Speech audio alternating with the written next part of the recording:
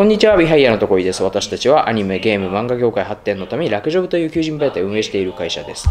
えっと、私たちの、えー、ラクジョブなんですけれども、えー、まあ、遊撃系でですね、アフターエフェクトの人材が欲しいとか、えー、まあ、遊撃、え組み込みプログラマーの、え募集がしたいっていう時に、え特にあのおすすめのメディアになってます。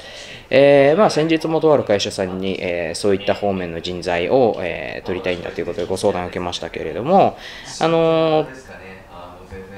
まあ、あのラクジョブに登録して特にプログラマーなんかは本当にあのすごく有名なあのアクションゲームを手がけたとかあの、まあ、経験年数10年以上ありますみたいなですねこうベテランの人材が、えー、採用ができる。特にプログラマーに強いので、えーまあ、ゲームのプログラマーさんという優秀な方が多いというのはまあご存知だと思うんですけれども、えー、それでこう遊撃の経験もあったりディレクションの経験もあったりっていうことでですね、えー、楽職の人材っていうのは優秀だと思います。